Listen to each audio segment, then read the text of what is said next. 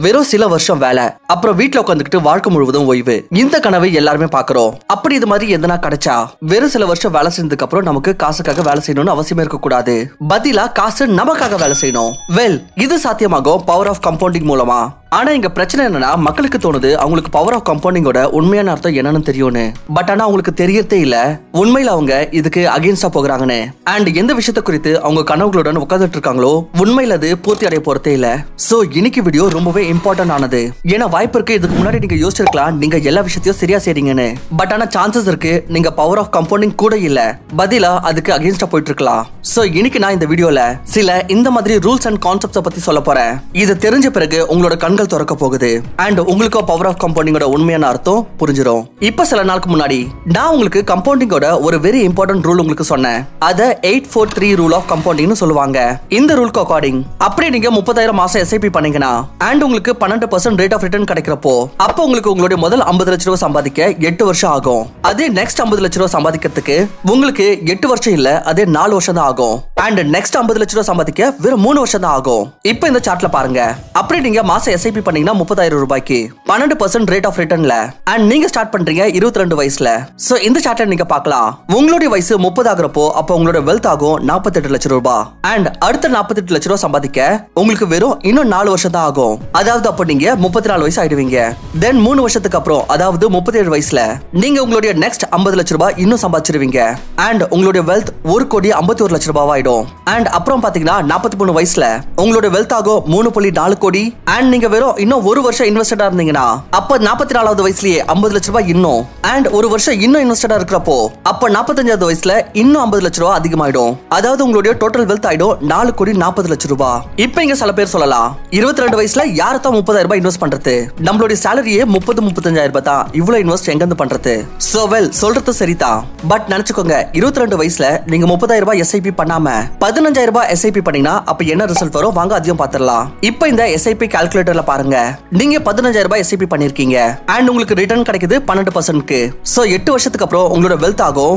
இருபத்தி நாலு லட்சத்தி இருபத்தி ரெண்டாயிரத்தி எட்நூத்தி தொண்ணூத்தி எட்டு ரூபாய் அதாவது கிட்டத்தட்ட இருபத்தஞ்சு லட்சம் ரூபாய் அதே நாலு வருஷம் நீங்க இன்னும் இன்வெஸ்டடா இருந்தீங்கன்னா அப்படி பதினஞ்சாயிரம் ரூபாய் நீங்க பன்னெண்டு வருஷத்துக்கு இன்வெஸ்ட் பண்ணீங்கன்னா அப்ப உங்களுடைய வெல்த் ஜஸ்ட் டபுள் ஆயிடும். உங்களுடைய வெல்த் இருபத்தி நாலு லட்சத்துல இருந்து ஸ்ட்ரைட்டா நாற்பத்தி லட்சம் ரூபாய் ஆயிடும் அதே நீங்க நெக்ஸ்ட் மூணு வருஷத்துக்கு இன்னும் இன்வெஸ்டடா இருந்தீங்கன்னா அப்ப இந்த கால்குலேட்டர்ல பாருங்க பதினஞ்சாயிரம் ரூபாய் பதினஞ்சு வருஷத்துக்கு அதே பன்னெண்டு பர்சன்ட் ரிட்டர்ன்ல இப்போ உங்களுடைய வெல்த் இருபத்தஞ்சு லட்சம் இன்னும் அதிகமாயிடும். அதாவது உங்களுடைய வெல்த் ஆயிடும் எழுபத்தஞ்சு லட்சம் ரூபாய். இதுக்கு ஸ்ட்ரைட்டான அர்த்தம் என்னன்னா அப்படி நீங்க மாசத்துக்கு முப்பதாயிரம் ரூபாய் இன்வெஸ்ட் பண்ணீங்கன்னா அப்போ ஐம்பது லட்ச ரூபாய் சம்பாதிக்கிறதுக்கு உங்களுக்கு எட்டு வருஷம் ஆகும். அதே நீங்க பதினஞ்சாயிரம் ரூபாய் மாசம் இன்வெஸ்ட் பண்ணீங்கன்னா அடுத்த எட்டு வருஷத்துல உங்களுடைய அதே வெல்த் பாதி ஆயிடும் அதாவது இருபத்தஞ்சு லட்சம் ரூபாய். இப்போ உங்ககிட்ட தான் டிபெண்ட் ஆயிருக்கு. நீங்க மாசம் எவ்வளவு காசு எஸ்ஐபி த்ரூ இன்வெஸ்ட் பண்ண போறீங்கன்னு. வாய்ப்பு இருக்கு. நீங்க பதினஞ்சு ரூபாய் கூட இல்ல வெறும் ஏழாயிரத்தி ஐநூறு ரூபாய் நீங்க மாசம் இன்வெஸ்ட் பண்ணலாம். அப்போ நெக்ஸ்ட் எட்டு வருஷத்துல உங்களுடைய வெல்த் இருபத்தஞ்சு லட்சம் இல்ல அது பன்னெண்டரை லட்சம் ரூபாவா இருக்கும். இந்த கம்பவுண்டிங்கோட எயிட் ஃபோர் த்ரீ நம்மளுக்கு என்ன தெரிவிக்குதுன்னா நீங்க எட்டு வருஷத்துல எவ்வளவு வெல்த் உருவாக்குவீங்களோ அதே அளவுக்கான வெல்த் உருவாக்க உங்களுக்கு இன்னும் நாலு வருஷம் ஆகும். அண்ட் நெக்ஸ்ட் அதே அளவுக்கான வெல்த் உருவாக்க இன்னும் மூணு வருஷம். அண்ட் பிறகு நீங்க பாத்தீங்கன்னா ஒரு ஒரு வருஷத்துல நீங்க அந்த அளவுக்கான வெல்த் உருவாக்க ஆரம்பிச்சிருவீங்க. இதனாலதான் எப்பவுமே என்ன சொல்லப்படுதுன்னா எவ்வளவு சீக்கிரமா நீங்க எஸ்ஐபி பண்ண ஆரம்பிக்கிறீங்களோ இன்வெஸ்டிங் ஆரம்பிக்கிறீங்களோ அப்போ பவர் ஆஃப் கம்பவுண்டிங்க நீங்க ரொம்ப சீக்கிரமா பார்க்கலாம். பட் ஆனாலும் இங்க மக்கள் ஒரு தவறு செய்யறாங்க அது என்ன தவறு? மேற்கொண்டு உங்களுக்கு இந்த வீடியோல தெரிஞ்சிடும் இப்போ வாய்ப்பு இருக்கு. உங்களுக்கு டார்கெட் இருக்கலாம். நான் ஃபைனான்ஷியலி ஃப்ரீ ஆகிறதுக்கு எனக்கு ஒரு கோடி ரூபாய் தேவைன்னு. பட் ஆனா இப்போ நான் ஜாப் செய்யறேன் அண்ட் என்கிட்ட ஒரு கோடி ரூபாய் இல்ல. அண்ட் என்கிட்ட எந்த ஒரு பிசினஸும் இல்ல. எல்லா வேலையை விட்டுட்டு உட்கறதுக்கு சோ இதனால எனக்கு ஒரு கோடி ரூபாய் தேவை. அதுக்கு என்ன செய்யறதுன்றது வாங்க பார்க்கலாம். பட் ஃப்ரெண்ட்ஸ் அதுக்கு முன்னாடி நீங்க நம்மளோட சேனலுக்கு இன்னும் சப்ஸ்கிரைப் பண்ணலாம் கண்டிப்பா சப்ஸ்கிரைப் பண்ணிக்கோங்க. பாத்தீங்கன்னா நம்மளோட seventy six percent audience video பாக்குறாங்க. ஆனா சப்ஸ்கிரைப் பண்றது இல்ல சோ கண்டிப்பா சப்ஸ்கிரைப் பண்ணிக்கோங்க. இதனால எங்களுக்கு இந்த மாதிரி இன்னும் வீடியோஸ் உருவாக்க மோட்டிவேஷன் கிடைக்கும். சோ வாங்க பார்க்கலாம். நீங்க உங்களுடைய முதல் கொடியை உருவாக்கணும்னா அதுக்கு என்ன பண்ணணும்ன்றது? இவர் தான் அஜய் இவரோட வயசு இருபத்தஞ்சு. அண்ட் இவர் ஒரு பிரைவேட் கம்பெனில ஜாப் செய்யறாரு அண்ட் இங்க இவரோட சேலரி நாற்பதாயிரம் ரூபாய் அதே இவர் கூட இருக்காரு இவரோட ஃப்ரெண்ட் பாத்தீங்கன்னா மனோஜ். அவருடைய வயசும் பாத்தீங்கன்னா இருபத்தஞ்சு அண்ட் அவரோட சேலரியும் நாற்பதாயிரம் ரூபாய் அஜய் அண்ட் மனோஜ் ரெண்டு பேருக்குமே கம்பவுண்டிங் பத்தி தெரியும். ரெண்டு பேருக்குமே இந்த பிரைவேட் ஜாப் பண்ண பிடிக்கல.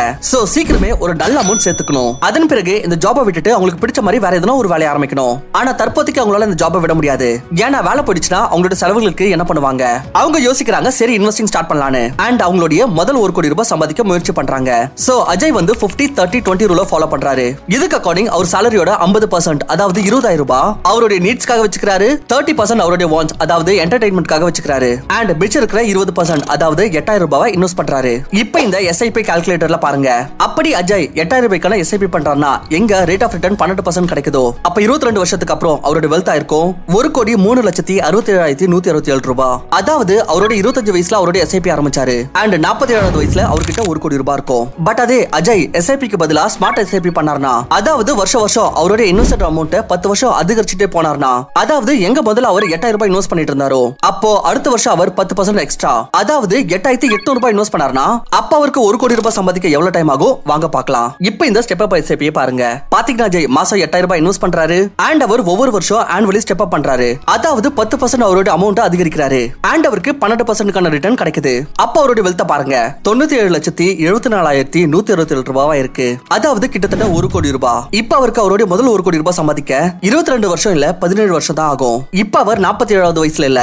பதிலா அஞ்சு வருஷத்துக்கு முன்னாடி நாற்பத்தி ரெண்டாவது வயசுலயே கோடீஸ்வரன் ஆயிட்டு இருப்பாரு இப்போ மனோஜ் கிட்ட போவோம். மனோஜ் யோசிக்கிறாரு நான் கொஞ்சம் சீக்கிரமாவே ஒரு கோடி ரூபாய் சம்பாதிக்கணும்னு. சோ அவருடைய செலவுகளை கம்மியா வச்சுக்கணும்னு பாக்குறாரு. ஏன்னா அவருக்கு தெரியும் ஒன்னும் பிரச்சனை இல்ல இப்ப நான் கொஞ்சம் கம்மியா செலவு பண்ணிக்கிறேன். ஆனா சில வருஷத்துக்கு அப்புறம் நான் எனக்கு மனசுக்கு பிடிச்ச வேலையை செய்யலாம். சோ அவர் 50 40 டென் ரூல ஃபாலோ ஃபாலோ பண்றாரு. அதாவது அவர் இன்கம் உடைய 50% பர்சன்ட் பேசிக் நீட்ஸ்ல லைக் சாப்பாடு தண்ணி பெட்ரோல் எலக்ட்ரிசிட்டி பில் இதுக்கு செலவு பண்றாரு. பத்து பர்சன்ட் அவருடைய என்டர்டைன்மெண்ட் அண்ட் ஷாப்பிங்காக வச்சுக்கிறாரு. அண்ட் பிச் இருக்கிற நாற்பது பர்சன்ட் அதாவது நாற்பதாயிரம் ரூபாயோட நாற்பது பர்சன்ட் ஆகுது. பதினாறாயிரம் ரூபாய் அதை இன்வெஸ்ட் பண்றாரு. அப்படி இந்த ஸ்டெப் அப் எஸ்ஐபி கால்குலேட்டர்ல பாத்தீங்கன்னா மனோஜ் பதினாறாயிரம் ரூபாய் இன்வெஸ்ட் பண்றாரு. அண்ட் பத்து பர்சன்ட் அவரோட அமௌண்ட் வருஷம் வருஷம் அதிகரிக்கிறாரு. அண்ட் அவருக்கும் பன்னெண்டு பர்சன்ட்கான ரிட்டர்ன் கிடைக்குது. அப்ப பதிமூணு வருஷத்துக்கு அப்புறம் அவரோட வெல்த் தொண்ணூத்தி ஏழு லட்சத்தி ஆயிரத்தி எழுநூத்தி அஞ்சு ரூபாய் ஆயிட்டு இருக்கும் பார்த்தா ஸ்டெப் அப் எஸ்ஐபி பண்ணி அஜய்க்கு ஒரு கோடி ரூபாய் சம்பாதிக்க பதினேழு வருஷம் ஆச்சு.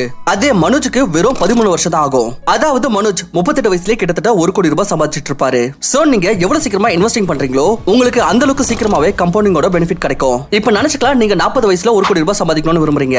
அப்ப நீங்க எந்த ஏஜ்ல எவ்வளவு காசு இன்வெஸ்ட் பண்ண வேண்டியது இருக்கும் சோ தட் இந்த டார்கெட் அச்சீவ் பண்றதுக்குன்றத வாங்க இந்த சார்ட்ல பார்க்கலாம். பாத்தீங்கன்னா நீங்க இருபது வயசுல பத்தாயிரம் ரூபாய்க்கான இன்வெஸ்ட்மெண்ட் பண்ணீங்கன்னா எங்க உங்களுக்கு பன்னெண்டு பர்சன்ட்கான ரிட்டர்ன் கிடைக்குதோ அப்ப நீங்க நாற்பது வயசுல ஒரு கோடி ரூபாய் சம்பாதிச்சிருவீங்க.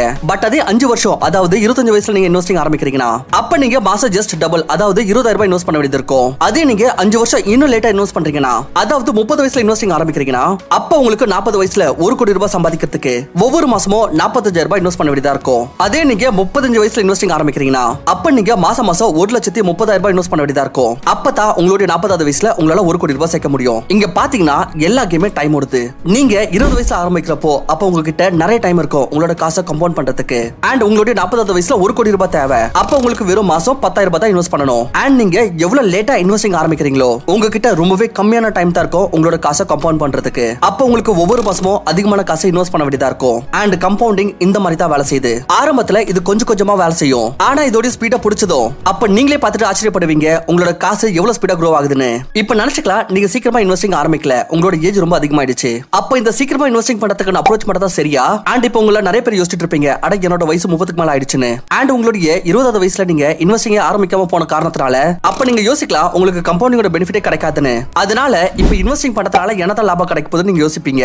சோ வாங்க நம்ம இதையும் புரிஞ்சுக்க முயற்சி பண்ணலாம். நினைச்சுக்கோங்க ரெண்டு பேர் இருக்காங்க. ஒருத்தரோட பேர் ராகுல் இன்னொருத்தரோட பேர் கரண். இப்ப இந்த சார்ட்டை பாருங்க. நினைச்சுக்கலாம் ராகுல் இருபது வயசுல அவரோட இன்வெஸ்டிங் ஆரம்பிக்கிறாரு. அண்ட் அவர் ஒவ்வொரு மாசமும் அஞ்சாயிரம் ரூபாய் இன்வெஸ்ட் பண்றாரு. அண்ட் அவருக்கு பன்னெண்டு பர்சன்ட்கான ரிட்டர்ன் கிடைக்குது. அதே கரண் பத்து வருஷத்துக்கு அப்புறம் அதாவது முப்பது வயசுல இன்வெஸ்டிங் ஆரம்பிக்கிறாரு. அண்ட் சின்ஸ் இந்த ஏஜ்ல அவரோட இன்கம் வந்து அதிகமா இருக்கும். சோ அவர் மாசம் இருபத்தஞ்சாயிரம் ரூபாய் இன்வெஸ்ட் பண்றாரு. அண்ட் அவருக்கும் அதே பன்னெண்டு பர்சன்ட்கான ரிட்டர்ன் கிடைக்குது. இப்ப இவங்க ரெண்டு பேருமே ஐம்பது வயசு வரைக்கும் இன்வெஸ்ட் பண்றாங்க. அப்ப உங்களுக்கு என்ன தோணுது? ஐம்பது வயசுல யாரோட வெல்த் அதிகமா இருக்கும்? வாங்க பாக்கலாம் இப்ப அகைன் இந்த சார்ட்டை பாருங்க.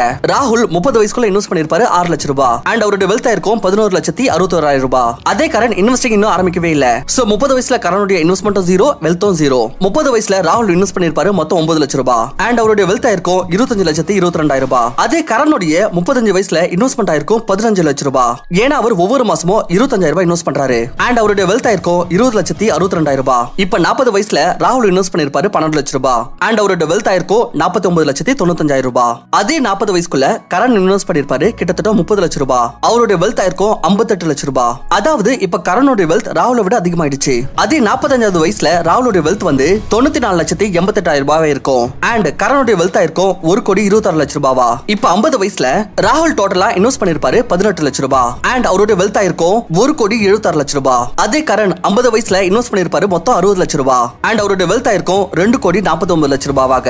இப்ப ராகுல் பத்து வருஷத்துக்கு முன்னாடி இன்வெஸ்டிங் ஆரம்பிச்சிட்டாரு. பட் ஆனா அவர் அஞ்சாயிரம் ரூபாய் மட்டுமே இன்வெஸ்ட் பண்ணதுனால அப்பா அவருடைய டோட்டல் இன்வெஸ்ட்மெண்ட் ஐம்பது வயசுல பாத்தீங்கன்னா வெறும் பதினெட்டு லட்சம் ரூபாய் தான். இதனால அவருடைய வெல்த் ஒரு கோடி எழுபத்தாறு லட்சம் ரூபாவா இருக்கு. ஆனா கரண் பத்து வருஷம் லேட் ஆரம்பிச்சாரு. பட் ஆனா அவர் மாசம் இருபத்தஞ்சாயிரம் ரூபாய் இன்வெஸ்ட் பண்ணிட்டு இருந்தாரு.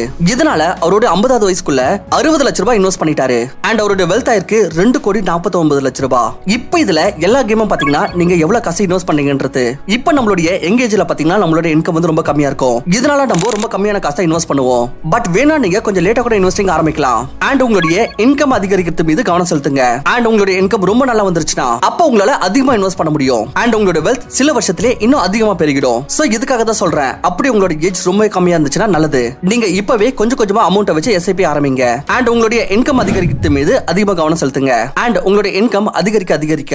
அப்ப நீங்க உங்களுடைய இன்வெஸ்ட்மெண்ட் அமௌண்ட்டையும் அதிகரிக்கலாம். பட் அதுவே இப்போ உங்களோட ஏஜ் ரொம்ப அதிகமா இருந்துச்சுன்னா then don't worry I'm sure உங்களோட இன்கம் ரொம்ப நல்லா இருக்கும். அப்ப நீங்க முயற்சி பண்ணும் அதிகமா சேவ் பண்ணி இன்வெஸ்ட் பண்றதுக்கு. இதனால நீங்க அதிகமான காசை இன்வெஸ்ட் பண்ண முடியும் அண்ட் உங்களோட வெல்த் சில வருஷத்திலே அதிகரிச்சிரும். சோ ஃப்ரெண்ட்ஸ் உங்களோட இன்வெஸ்டிங் ஆரம்பிக்கிறதுக்கு நீங்க முதல்ல ஒரு டிமேட் அக்கௌண்ட் ஓபன் பண்ணணும். நான் கீழே டிஸ்கிரிப்ஷன்ல ட்ரஸ்டட் brokers லிங்க் கொடுத்திருக்கேன். நீங்க கிளிக் பண்ணி ஃப்ரீயாவே உங்களோட டிமேட் அக்கௌண்ட் ஓபன் பண்ணி இப்பவே உங்களோட இன்வெஸ்டிங் ஜர்னியை ஸ்டார்ட் பண்ணுங்க. அண்ட் கூடவே உங்களோட ஏஜ் அண்ட் மந்த்லி நீங்க எவ்வளவு இன்வெஸ்ட் பண்றீங்கிறதையும் கமெண்ட் பண்ணி கண்டிப்பா சொல்லுங்க. ஐ ஹோப் உங்களுக்கு இந்த வீடியோ பிடிச்சிருக்கும். வீடியோ பிடிச்சிருந்தா மறக்காம லைக் பண்ணுங்க. அண்ட் சேனலுக்கு மறக்காம சப்ஸ்கிரைப் பண்ணிடுங்க. தேங்க்யூ ஃபார் வாட்சிங்